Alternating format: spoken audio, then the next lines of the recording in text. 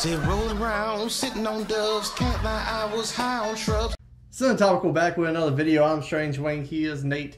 Today on Cop or Drop, we were looking at a steelbook for the film, The Shawshank Redemption, and he's going to tell you about our social media down in the description below. I could I should have made a transition about how people in prison can't be on social media. But they are quite Yeah. often. YNW Melly, he's a rapper. He's in jail. He came out with a full album. It's true.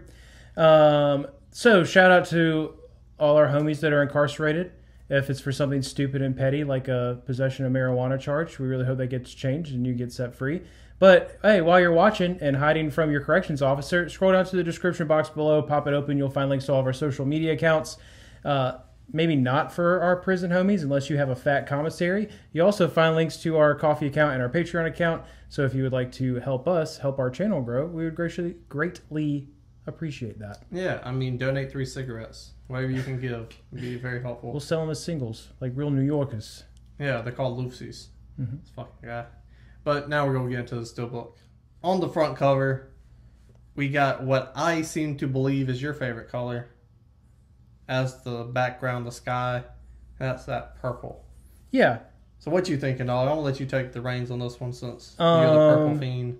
I fucking love this. Uh, you know, all right. So obviously, do not need to sell the greatness of the Shawshank Redemption. Quite often makes you know greatest movies of all time lists, uh, and deservedly so. It's an excellent, excellent movie. Uh, in terms of a steelbook cover, this is beautiful, man. You got like uh, the minimalist like guard towers and the fence in the background.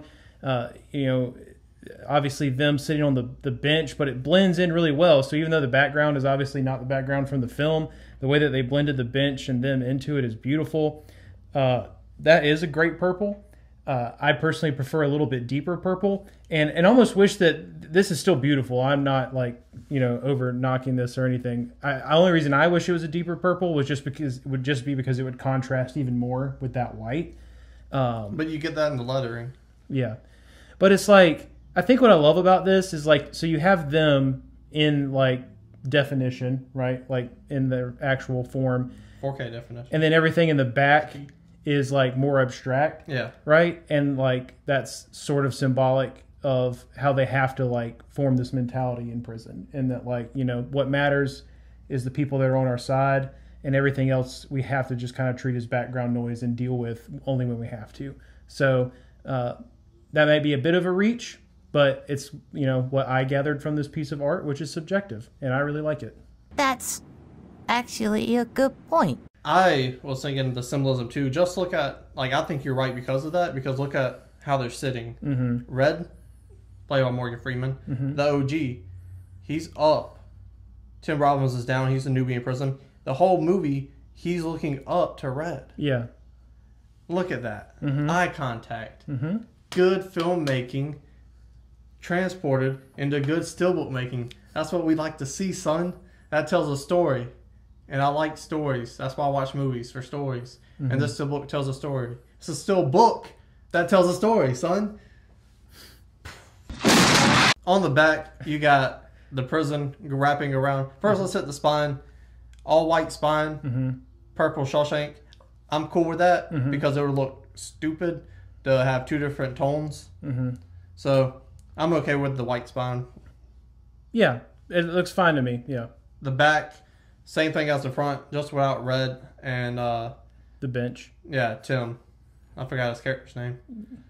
I know it's Tim Robbins though. Yeah, uh, yeah. Like Back. you said, simplistic, yeah, it's more the same. Like, you know, I'm almost gl- the front is so great to me. I'm almost glad they didn't touch the back really because it's like this. This is uh, simplicity at its most beautiful to me. Yeah. Love that. Less is more.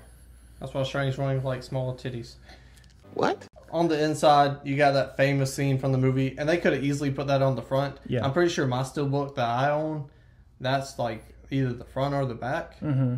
But then you got your deep purple in there, dog. Look Yeah, at you. you know, I'm almost wondering if this is like a weird nod to Prince because there's literally purple rain on the inside of this steelbook. That's a reach. Uh, but hey, that's a scene from the movie. It makes sense, but it's not just any scene from a movie. That's like the scene from the Yeah. movie, right? So kind of an easy go to. But like we've talked about before, this is a great fucking inside cover because you still have the purple and the rain on the part that's going to be covered by the discs, but there's no other image that's going to be covered up. So even when the discs are disc discs, What your ass say? even when the discs are in there, you still going to have Tim happy and looking up into the sweet, sweet freedom. It's great.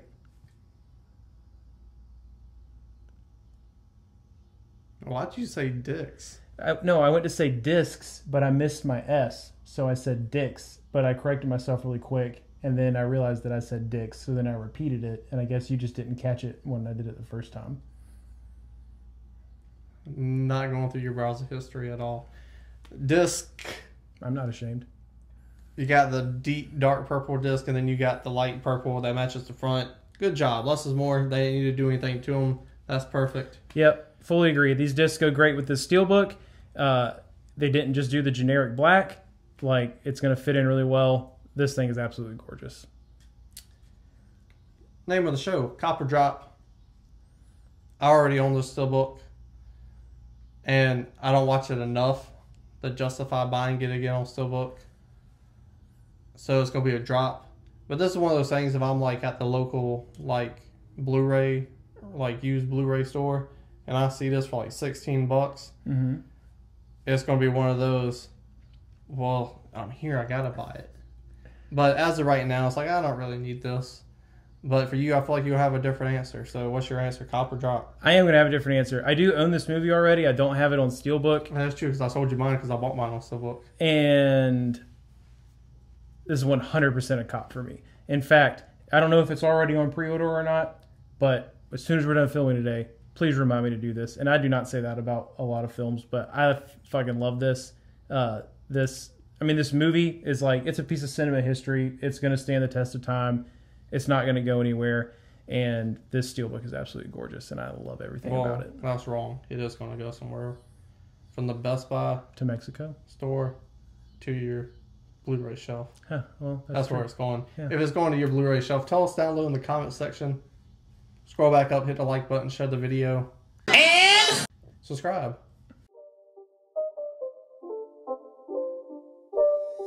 It's not a game, it's a rich thing.